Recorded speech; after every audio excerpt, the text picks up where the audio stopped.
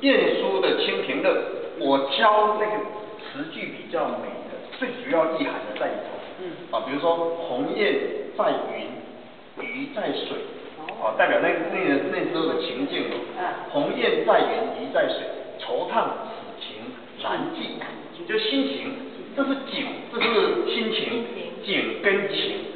好，再来，人面不知何处？什么叫人面不知何处呢？当然是人不知道在哪里，可是这个是有典故哦。这个典故是说，有一个叫做王子乔的，曾经过江去哪里玩，就看到，哎，有一户人家突然间门打开了，有一个很漂亮的女生出现了，你知道吗？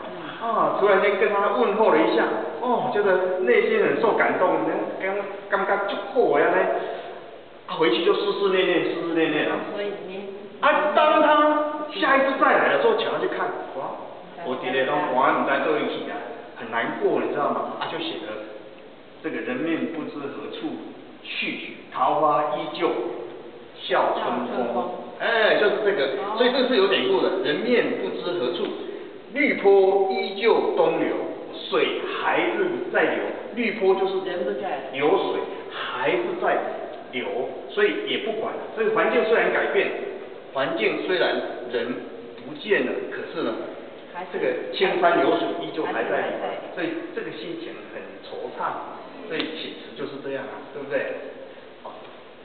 对，这是老师创作的，不是自己创作。